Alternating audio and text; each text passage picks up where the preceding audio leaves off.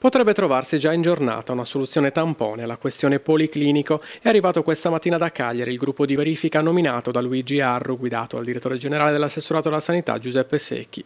Accompagnati dal direttore sanitario della struttura Angelo Pietro Melis e dall'amministratore Piero Bua, hanno ispezionato gli ambienti del policlinico con l'obiettivo di trovare una soluzione per risolvere le criticità più urgenti.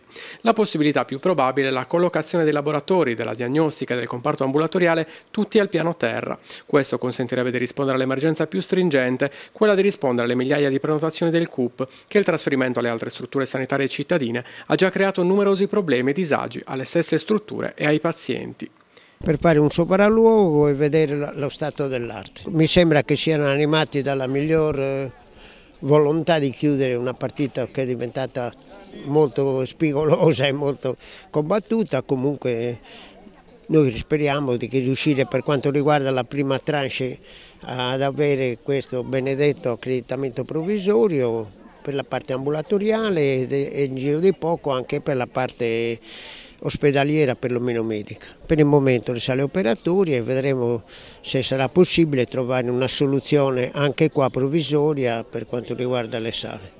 Dopo l'ispezione, una volta rientrato a Cagliari, il gruppo di verifica dovrà deliberare, forse nel giro di poche ore. Intanto, fuori dalla struttura di Viale Italia, continua il presidio quotidiano al grido di Io sto col policlinico, con tanto di hashtag che identifica il sit-in. Ogni mattina fino a venerdì, lavoratori e cittadini, insieme ai commercianti del centro, che hanno scelto di dare appoggio all'avvertenza della struttura, manifestano nel piazzale del Nosocomio, in vista della grande mobilitazione di lunedì 3 dicembre. Sono veramente adirata perché era la struttura che valeva a Sassari, meglio dell'ospedale civile.